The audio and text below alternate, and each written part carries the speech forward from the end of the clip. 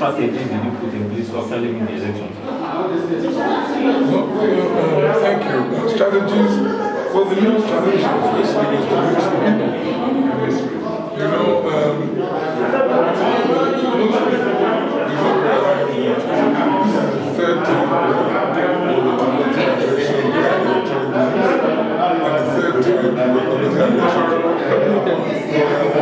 basis.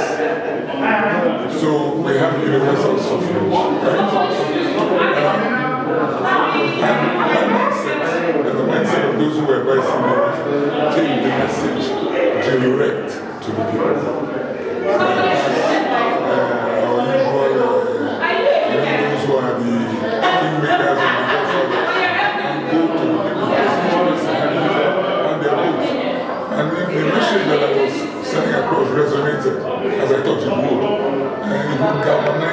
to come out and vote.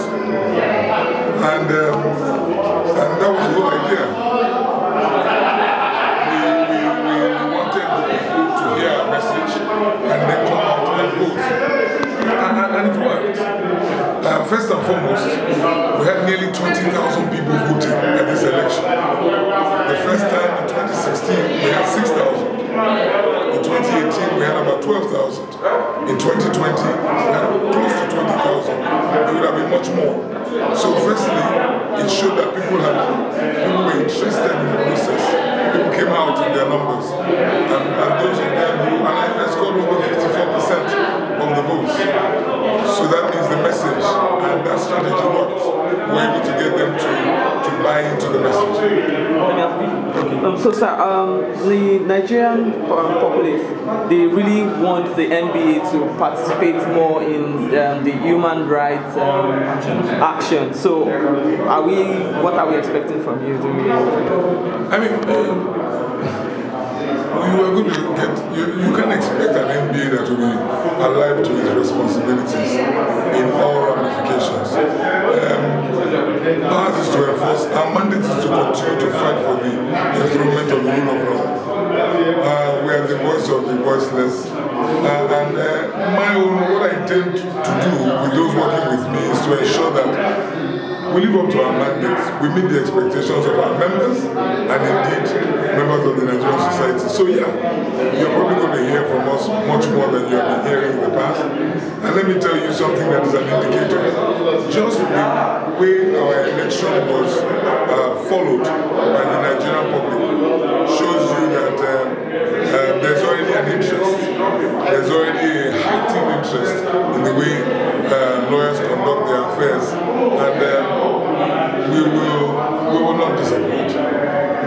Okay, sir. So, um, so two more questions before we go. So, you are not um, a senior advocate of Nigeria. So, um, how were you able to overcome what people, or what did, do people say about you not being the senior advocate of Nigeria and trying to contest for the position of the president of the NBA? So, what what are those challenges you, you, you faced? What are those challenges you went through without because you are not the SAN and you won? So, what are those challenges you went through? What do people say? And where, how were you able to overcome what people said?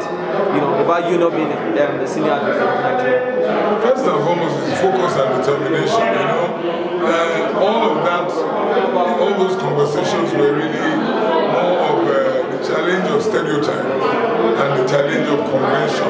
You know, that attitude of this is the way we usually do things. Meanwhile, there's no law backing that position. Because as you may know, as long as you're a lawyer who has been called to the Nigerian bar, you practice for 15 years, you can't run for president of the bar. So I refuse to accept status quo. I refuse to be boxed in by stereotype. And, and I was lucky to find other Nigerian lawyers who agreed with me that it really did not matter whether or not I am a senior advocate. And again, it was one man, one vote. It is one man, one vote. And those who were of that opinion are in the majority. And the majority have their. So, lastly, sir, um, there's a new um, rumor which has been spreading on, on the internet, and on the news uh, media industry that the um, a lot of people, um, a lot of lawyers in, in, the NBA are trying to create another faction, the New Bar Initiative. I stand corrected. So what what what are your say towards it? What do you feel about this um, new faction that that are trying to people trying to form new faction of the NBA? Is it towards the, is it because of the fact that you won the election?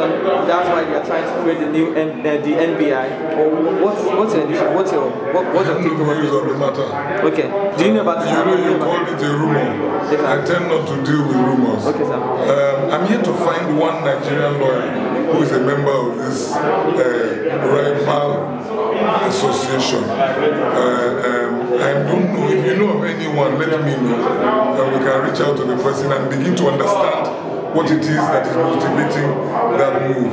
But as long as it remains in the realm of conjecture and uh, in the realm of rumors, I don't even have the patience to, to, to deal with that.